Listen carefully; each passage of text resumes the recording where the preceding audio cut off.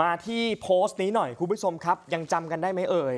อาคุณแม่น้องการ์ตูนอ่านนะครับ ที่เอ่อสามีกับลูกสาวก็คือน้องการ์ตูนเนี่ยเกิดอุบัติเหตุไปอ่าเมื่อ 19 กันยายนปี 57 นะครับ ที่ซอยเอกชัย 119 ก็เป็นเหตุที่ทำทำให้อ่าคุณพ่อน้องการ์ตูนเนี่ย ก็คือคุณพานุทัศน์เสียชีวิต แล้วก็น้องการ์ตูนเนี่ยอาการสาหัสนะฮะค่ะกระทบกระเทือนถึงสมองนี่คือภาพวงจรปิดตอนที่เกิดเหตุประเด็นมันอยู่ที่ว่า คือคดีเนี้ยศาลตัดสินไปเป็นที่เรียบร้อยแล้วเอ่อจำคุก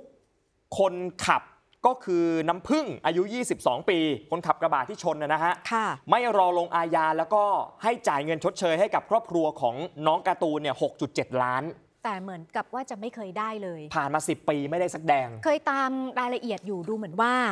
เอ่อกลายเป็นบุคคลล้มละลายไป ไม่มีทรัพย์สินอะไรในชื่อของของของน้ำพึ่งเลยครับเพราะฉะนั้นก็เลยไม่มีเงินที่จะมาให้ก็แต่ว่าบุคคลรอบตัวอืมมี แต่เอาง่ายๆอ่าว่า บ้านน้องการ์ตูนคุณแม่เนี่ยกับน้องการ์ตูนที่ยังมีชีวิตอยู่ต่ออย่างยากลำบากเนี่ยค่ะ เอ่อก็คือยังไม่ได้เงินสักแดงอะอันนี้ชัด ๆ เลย บาทเดียวก็ไม่ได้ ไม่ได้เงินเลยนะครับ อืม แต่สูญเสียบุคคลที่เป็นเสาหลักในครอบครัวไป ประเด็นที่จะพูดวันนี้ให้ดูโพสต์นี้นะครับ โพสต์ของคุณแม่น้องการ์ตูน คุณผู้ชมมันน่าตกใจมากนะครับ ที่เรามาเห็นโพสต์นี้ คุณแม่โพสต์ว่าเราเนี่ยมีภาวะโรคซึมเศร้าขั้นรุนแรง หลังจากไปพบคุณหมอจิตเวชเราเล่าว่าเรานอนไม่หลับเพราะเหตุการณ์ที่มันเกิดขึ้นนั่นแหละเมื่อปี 57 คุณหมอก็รับฟังแล้วก็สั่งให้เราเนี่ยดื่มเบียร์วันละสองกระป๋องเพื่อให้นอนให้ได้ แต่ทุกครั้งที่เราหลับตา ภาพรถชนลูกกับแฟน มันลอยมาเสมอ นี่นะฮะท้ายที่สุดคุณแม่โพสต์แบบนี้ฮะ ตอนนี้อยากบอกทุกคนว่าเราไม่พร้อมที่จะอยู่ในโลกใบนี้ค่ะขอบคุณทุกกำลังใจที่ส่งให้เราและน้องมาเสมอ ขอบคุณจริง ๆ แต่โลกนี้ไม่เคยยุติธรรมกับครอบครัวเราเลย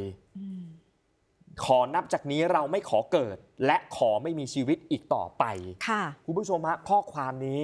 วันนี้ล่าสุดเราต้องไปถึงที่ร้านอาหารของคุณแม่น้องการ์ตูนค่ะณผู้ชมฮะทีมข่าวเราวันนี้ไปถึงร้านสเต็กของแม่น้องการ์ตูนแล้วนะครับ ด้านหน้าติดป้ายประกาศให้เช่าเซ้งตึกเอาไว้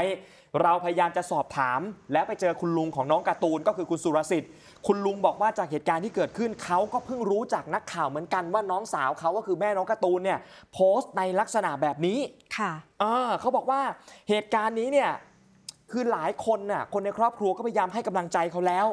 แต่เราก็ไม่รู้ว่าด้วยอาการป่วยด้วยอะอืม จะทำให้เขาเนี่ยคือถึงขั้นโพสต์ในลักษณะแบบนี้ แล้วตอนนี้ติดต่อไม่ได้ด้วยนะครับค่ะ อ่าลองฟังเสียงคุณลุงหน่อยนะฮะ เมื่อสองวันที่แล้วครับ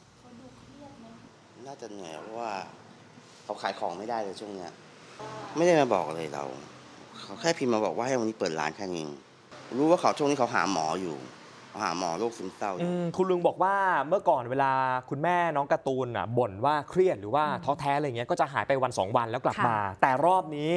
ติดต่อไม่ได้นะครับ คุณลุงบอกกับเราแบบนี้ในขณะเดียวกันเนี่ยในส่วนของเจ้าหน้าที่อพปรเขตราชบูรณะ คุณจรูนเนี่ยให้ข้อมูลกับเราบอกว่าเห็นโพสต์เนี่ยรีบมาที่ร้านเพื่อมาหาแม่น้องการ์ตูนเลยนะฮะแต่ปรากฏว่าติดต่อไม่ได้ครับ ร้านก็ถูกปิดเงียบมตอนนี้ เป็นห่วงนะฮะ และเจ้าตัวเนี่ยคุณจรูนบอกว่า ตอนนั้นเขาโทรไปหาคุณแม่น้องการ์ตูนเนี่ยตอนแรกสายเนี่ยรับนะฮะ ค่ะ แต่แม่น้องการ์ตูนปลายสายบอกมาบอกว่าพี่ปล่อยเขาไปเถอะเขาอยากไปอยู่กับลูกขอไปกับลูก อ๋อ เขาลำบากมา 10 ปีแล้วคนทำลอยนวลครับ กลับกันคุณแม่กับน้องการ์ตูนกลับต้องมาทรมานอยู่อย่างนี้ ครับ คุณผู้ชมนะตอนนี้ทีมข่าวเราพยายามจะหาตัวคุณแม่น้องการ์ตูนให้เจอนะครับ เพราะว่าตอนนี้ไม่รู้เลยว่าคุณแม่อยู่ที่ไหน แล้วก็อยู่ในสภาพจิตใจที่เป็นยังไงบ้าง ทั้งเจ้าหน้าที่อปพรที่เคยมาให้การช่วยเหลืออยู่ ครับทั้งครอบครัวเองอืม นะคะ ก็คือติดต่อไม่ได้เลยไม่ได้เลยฮะตอนนี้อะเป็นกำลังใจให้ขอให้คุณแม่กับน้องปลอดภัยอืมนะครับ เดี๋ยวเราจะพยายามตามหานะ